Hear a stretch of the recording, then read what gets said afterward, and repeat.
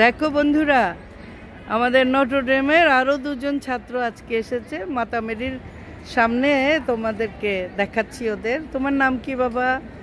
আমার নাম মোহাম্মদ ইজাজ আহমেদ। ইজাজ আহমেদ। কোন গ্রুপ আর কোন মেডিকেলে চান্স পেয়েছ এটা। গ্রুপ টুতে ছিলাম।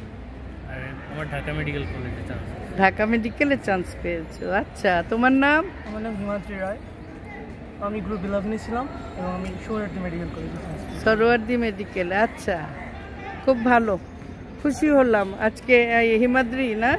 হিমাদ্রিকেই পেলাম একা একা? তবু তো এখন তোমাকে পেয়ে গেলাম। ভালো লাগল। আমি কয়েকদিন ধরেই চেষ্টা করছি যারা মেডিকেলে চান্স পেয়েছে, ওদের যদি আমি একটু আমার ক্যামেরায় ধরতে পারি।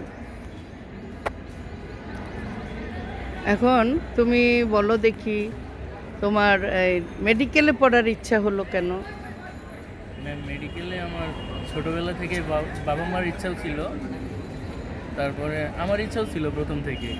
কিন্তু এনডিসিতে এসে আমার একটু আবার ইঞ্জিনিয়ারিংয়ের প্রতি আগ্রহ বেড়ে গেছিল মাঝখানে। তারপর?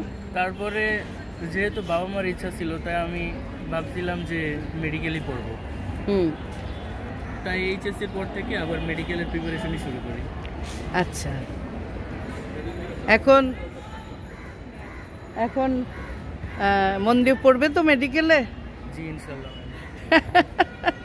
অনেক পড়তে হবে বাবা শুকিয়ে যাবে একটু হয়তো স্বাস্থ্যটা একটু খারাপ হবে। আর তোমার কি হবে? খাওয়া দাওয়া ঠিক মতন করে হ্যাঁ? অনেকের উপকার হবে তুমি যখন ডাক্তার বের হবা তখন অনেকের উপকার হবে। আমাদের মতো অনেকে আমরা উপকৃত হব এটা হচ্ছে বড় আপনার ছেলে কি ফার্স্ট ইয়ারে পড়ে? সেকেন্ড ইয়ারে কোন গ্রুপে।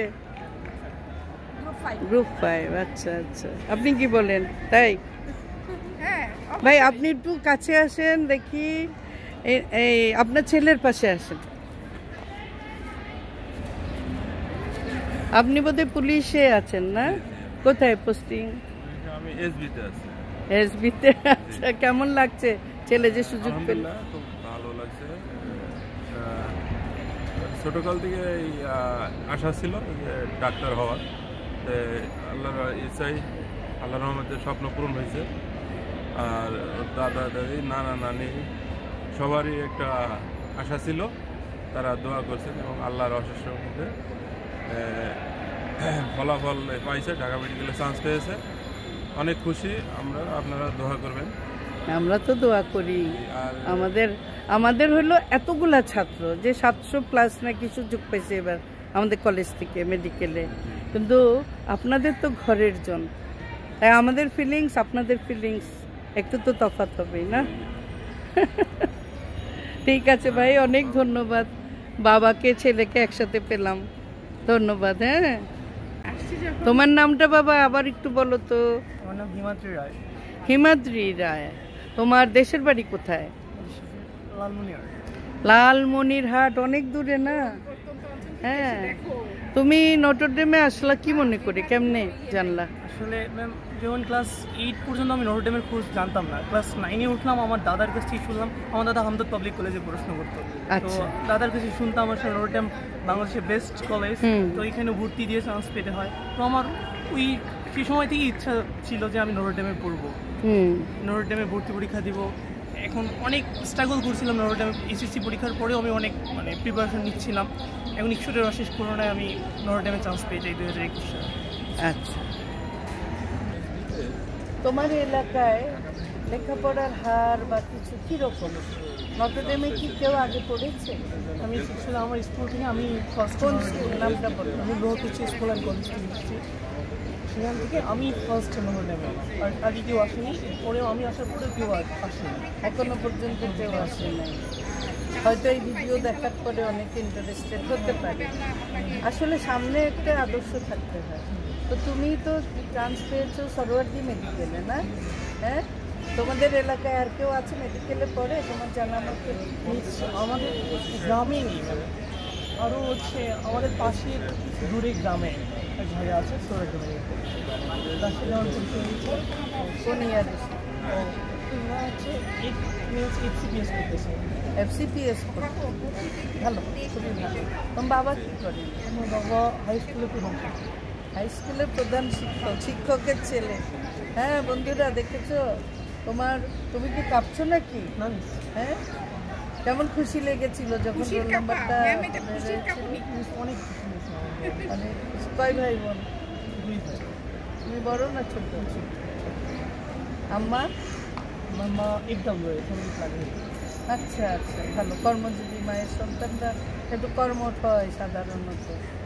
যাই হোক খুব ভালো লাগল। তুমি আসছো। লালমনির হাটের যারা দর্শক আছেন আমার আশা করব আপনাদের সন্তানকে আপনারা প্রেরণা দিবেন। বাবা মায়ের দেওয়া প্রেরণা অনেক কাজে লাগে, তবে কি সামনে একটা দৃষ্টান্ত থাকলে এগিয়ে যেতে আরও সুবিধা অনেক ধন্যবাদ আপনাদের। আপনারা সবাই দোয়া করবেন। আমাদের এই সন্তানরা যারা বিভিন্ন মেডিকেলে চান্স পেয়েছে, তবে মেডিকেলের রেজাল্টটা আগে হয়েছে বলে মেডিকেলে চান্স পাওয়াদের ভিডিও দিচ্ছি। আমাকে সেদিন একজনে লিখেছে কমেন্টে যে শুধু মেডিকেল আলাদের নিয়ে দিচ্ছে। অন্যদের ব্যাপারে ভাবেন না দেন না এরকম বৈষম্য ভালো না। তা আমি বললাম রেজাল্ট একটারই হয়েছে। ভার্সিটিগুলো তো পরীক্ষাও হয়নি এখনও। হ্যাঁ তো তো রেজাল্ট- সবটাই করেন। ওদেরকে আমি কেমনে দেখাবো? সেটাই যখন হ্যাঁ, ওরা আসবে তখন অবশ্যই আমি চেষ্টা করব। একে তো আমি আমি সিনিয়র একজন মানুষ, অসুস্থ মানুষ, বেশি পারি না ভিডিও করতে। তারপর আমাকে এরকম আক্রমণ করলে কী করি? তবে ছাত্র বন্ধুরা, যারা কাঙ্ক্ষিত জায়গায় চান্স পাবে না, চরম হতাশ হওয়ার কিছু নাই। কিন্তু সব ব্যাপারে একটা সেকেন্ড চয়েস রাখতে হয়, যাতে তোমাকে কখনো বসে থাকতে না হয়। হ্যাঁ তুমি আরেকটু ভালো কিছুতে ভর্তি হতে পারো। তোমার যদি মেডিকেলেই দরকার হয় বা এরকম, পরে আরেকবার সুযোগ থাকলে চান্স নেবে। কিন্তু বসে থাকবে না কখনো। সেকেন্ড চয়েস রাখতে হয় কেমন?